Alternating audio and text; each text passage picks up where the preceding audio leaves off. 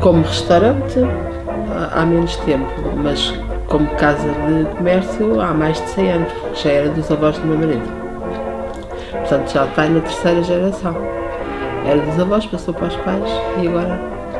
Daí ser solar dos pintores, porque pintor é mesmo nome de família. Este doce, eu já fazia isto há muitos, muitos anos, mas entretanto.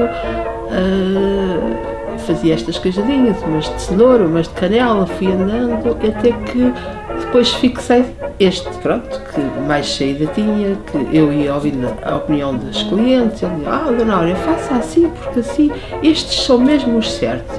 E então assim foi. Uh, isto aqui no Conselho havia uh, os charnequeiros, porque era um, um bolo de, da charneca.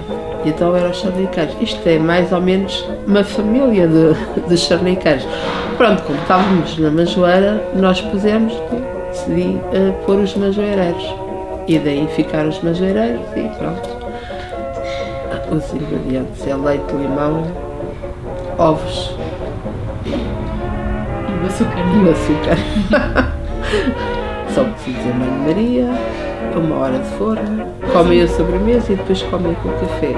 E há quem não queira, come como sobremesa, com a canela, outros sem canela, com a pastel nata.